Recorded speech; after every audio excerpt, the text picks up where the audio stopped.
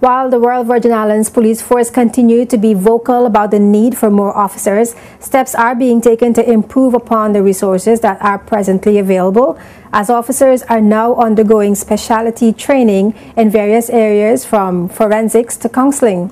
At a press conference held at the police headquarters, Police Commissioner Ronald Fraser and Deputy Police Commissioner David Morris revealed that the force recently completed an in-service training program geared toward refining the skills of the officers. Commissioner Fraser explained that the training is twofold and it is conducted throughout all ranks to keep all junior, middle management, and the senior officers up to speed.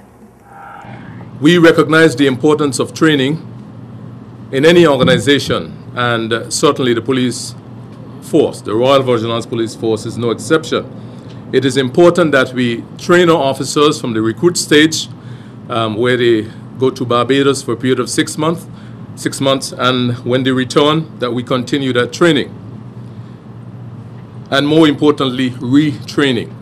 And that has been ongoing, but we realize the importance of being more uh, robust. We realize the importance of being, uh, of having our officers up to speed, if I may say, not only your junior officers, but our middle management officers and also senior officers.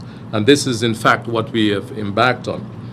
Deputy Commissioner David Morris said that the police force has been able to send officers away to train in the areas of post-incident command training, silver firearms command training, forensic interviewing, the interviewing of children and adults, as well as several other areas that would benefit them upon their return to the police force. Over the last couple of years, besides uh, an extensive in-house training program, we've sent officers away to Bermuda to undertake post-incident command training, uh, Silver Firearms Command training. We've sent officers to Canada and the US for forensic interviewing and uh, interviewing of children and adults. We've uh, sent officers away to uh, the US and UK to undertake asset forfeiture and financial uh, investigations training.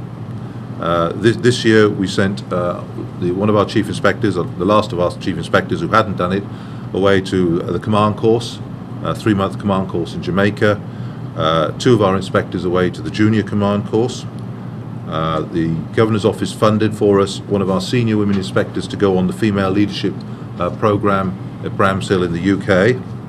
Uh, we sent uh, two officers away on a sexual offences training program again in Barbados and another officer to the UK uh, to Bramshill for sexual offences training where we also embedded him in a local force so that he would get experience of, of working with a local public protection unit.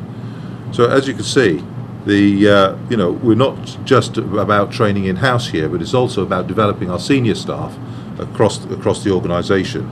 Two of our senior officers went away on the International Chief Officers Association conference last year, uh, and we're hoping to send another two senior officers away uh, on, on that this year, provided we can get the funding.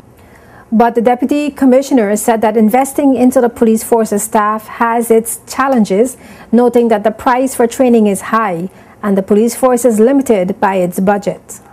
Several police officers had the opportunity to work along with the police force in the countries where they were trained, which gave them the exposure to situations that they may not necessarily experience here in the BVI.